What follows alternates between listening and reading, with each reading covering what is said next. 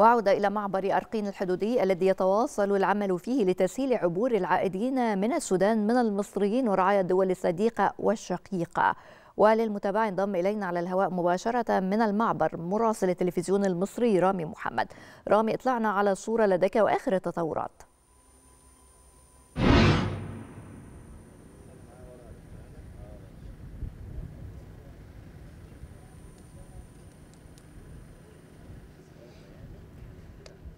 رامي هل تسمعني؟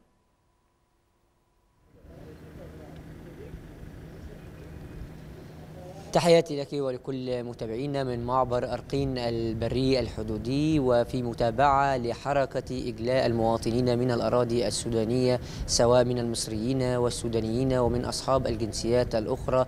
رعايا العديد من الدول.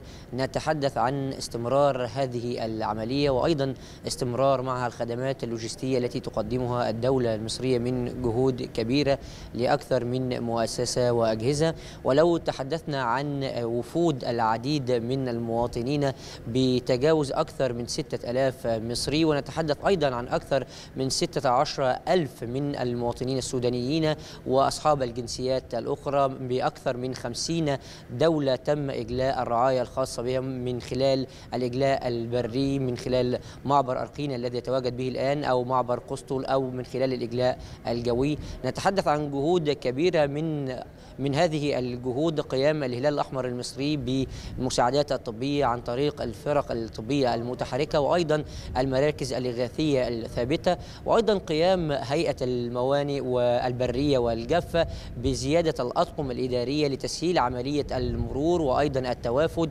والتأكد من أوراق التوثيق والتأشيرات وقيام وزارة النقل الممثلة في هيئة السكك الحديدية وأيضا التنسيق الكبير مع محافظة أسوان في توفير الشاحنات والحافلات التي تقل المواطنين من المعابر إلى أماكن التمركز سواء محطات الأتوبيس أو محطات القطارات والتنسيق مع هيئة السكك الحديدية لتنظيم حركة القطارات الخاصة بمحافظة أسوان سواء القادمة أو الذاهبة منها. هذا المشهد الكبير يدل ويؤكد على قيام الدولة المصرية بجهود بمختلف المؤسسات والأجهزة لاستقبال الوافدين سواء من المصريين والسودانيين وغيرهم وأن معبر أرقين البرية الذي يتواجد به الآن يعد البوابة الكبيرة لكل هؤلاء ولكل من يرغب في القدوم إلى مصر بعيدا عن الأراضي السودانية والاشتباكات. هناك عودة إليك مرة أخرى. أشكرك جزيلا على الهواء مباشرة من معبر أرقين الحدودي رامي محمد مراسل التلفزيون المصري.